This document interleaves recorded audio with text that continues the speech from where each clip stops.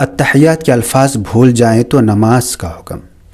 अगर नमाज़ में किसी से गलती हो जाए, अगर नमाज़ में किसी से गलती हुई, जैसे अतहियात में अल्फाज भूल जाते हों, याद ना आते हों तो वो नमाज़ कैसे पढ़ेगा?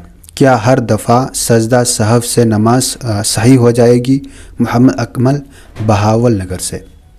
अतहियात के अल्फाज को किसी ने अगर मुसलसल रिपीट किया तो सद्दा साहब वाजिब हो जाता है, खूब समझ लें। लिहाजा अतहियात एक ही दफ़ा पढ़ें और एक दफ़ा याद कर लें उसको। ये वहमियों पागलों की तरह बार बार अल्फाज को रिपीट करना, इससे दिमाग भी ख़राब होगा, डिप्रेशन में भी जाएँगे और नमाजें भी ख़राब होंगी।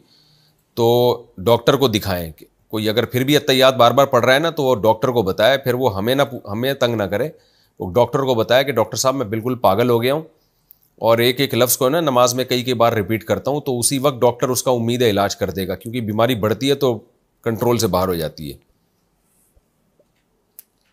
हाँ अगर किसी की यादाश्त कमज़ोर है, भूल जाता हो तो जितना याद आता है, उतना पढ़ता चला जाए, क्योंकि अल्लाह ताला किसी को उसकी ताकत से ज़्यादा का मुकल्लफ़ नहीं बनाते। बाज़ बुढ़ापे में भूल लाक होना शुरू हो जाती है।